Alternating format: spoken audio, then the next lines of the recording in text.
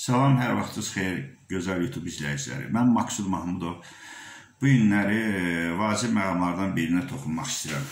Bu günləri hamınız gördünüz ki, bu Avropada mühacir həyatı altında yaşayan Qurban Məmmədovun e, Bakıda yerləşən 5 mərtəbəli evini necə qoydular, şüşələrini dağıtdılar, bütün darmadağın elədilər. Mənim bugünkü çıxışımın məqsədi təmiz başqa şeydir.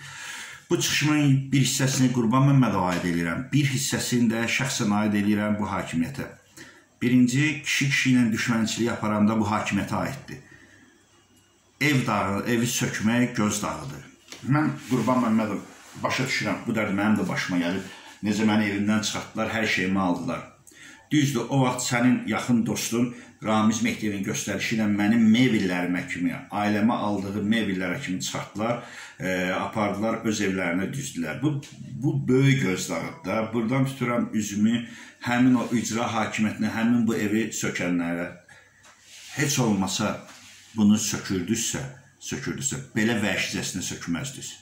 Olmaz bu. Belə mübarizə olmur. Bu kişi kimi mübarizə aparmaq deyil. Qurban Məmmədov nə mənim əmim oğlu, nə dayım oğlu, nə xalam oğludur bu adam başqa dövlətdə olub, başqa məmləkətdə mühacirətlə yaşayıb və bunu belə şəkildə sökmək bu düzgünlük deyil, belə mübarizə aparmaq olmaz. İkinci bir sözü Qurban Məmmədova sizə aiddir.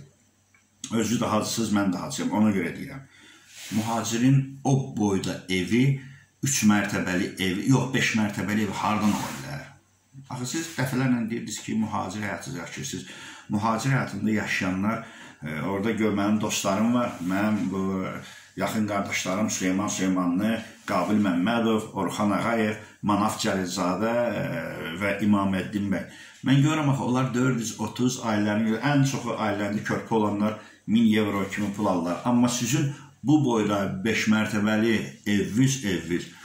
Mən deməzdim ki, bu mühacirət yaşamaqdır. Qətiyyən yox. İndi onu necə almısınız, necə eləmisiniz, onu bir siz bilirsiniz, bir Allahınız bilir. Amma mən buradan son deyə bilərəm ki, əgər hakimiyyətə meyilli olub, hakimiyyətin sözü ilə Avropadan hansı bir adam, hansı bir mühacir, hansı bir bloger, hansı bir siyasətçi güya xalqın tərəfindən çıxış eləyib, altdan-altdan hakimiyyətə qulluq edir və hakimiyyət tərəfindən belə hədiyyələr alasa sonu belə olur. Vallah sonu belə olur. Mən ona görə həmişə deyirdim ki, ta ki məni kimi, açıq deyirdim də, hakimiyyəti dəstəkləyəydim, xalqa tərəf keçəndə, kişi kimi mərd-mərdana keçərdim. Biri də var, xalqın içindən çıxırsan, güya mühacirsən, güya xalqa can yandırırsan, altdan-altdan hakimiyyətə qulluq edirsən, o pis şeydir. Məni başa düşən başa düşəcək.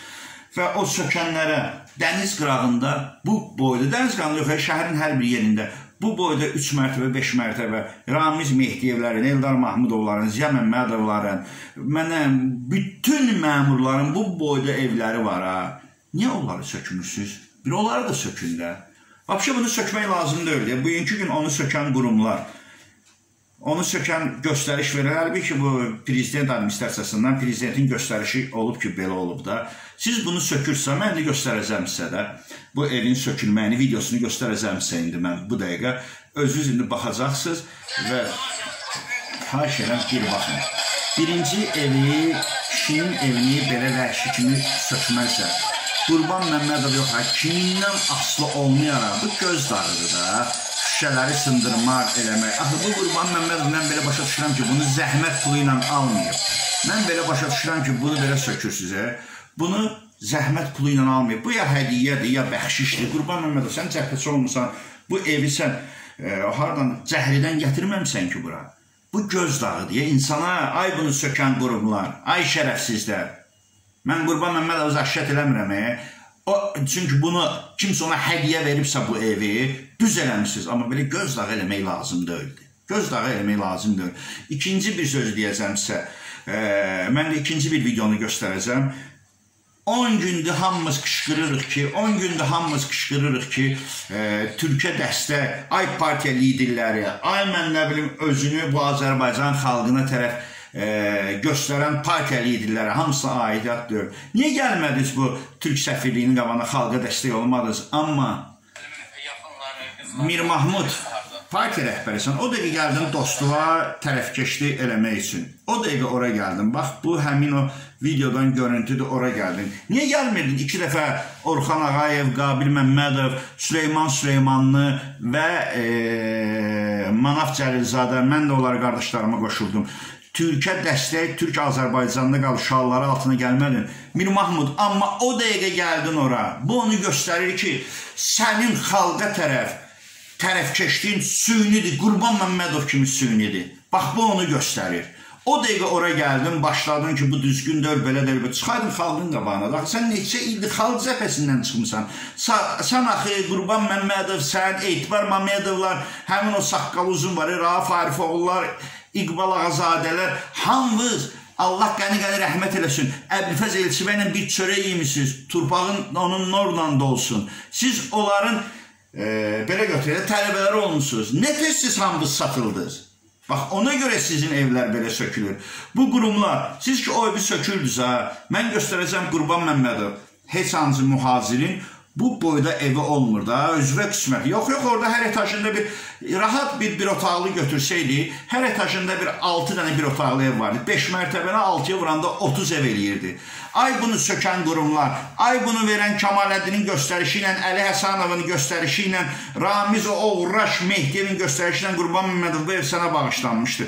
Olmazdımı ki, bunu sökməkdənsə bu qədər qaçqınlarımız var.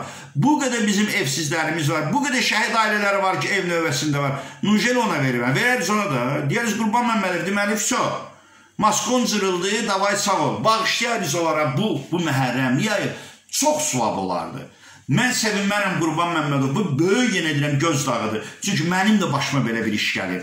Amma mən öz halal zəhmətimdən almışam. Mənə nə Ramiz Mehdiyevlər, mənə nə oğraş səbəbsiz Əli Həsənovlar, bunu mənə nə Kemaləddin Heydaralar, Nərmanovun bugünkü gün bunu mənə icra başçısı bağışlamayıb.